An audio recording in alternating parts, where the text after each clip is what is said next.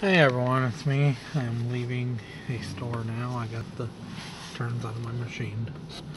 It only sold three of them, which I kind of figured they wouldn't sell them all because of the fact is, is the paper didn't have much of anything in it. And since I had three left out of the machine, why leave it in there until tomorrow?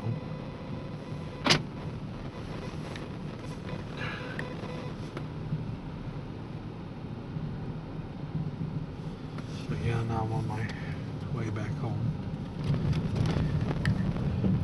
And then I had to fight with that stupid machine because uh, some of the money didn't drop in that tray. It dropped it in front of the tray, so I had to try to get some of the money out.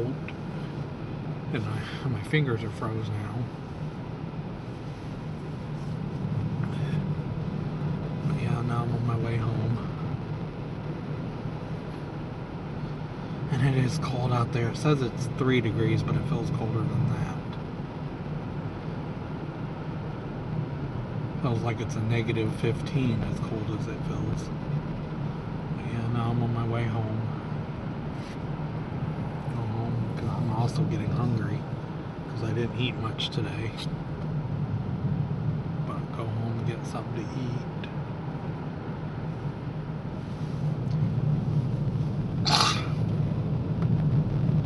The roads aren't too bad, but it is cold out. But I'm going to stop it right here. Please like, please subscribe, and I'll talk to you guys soon. Have a good day. Bye.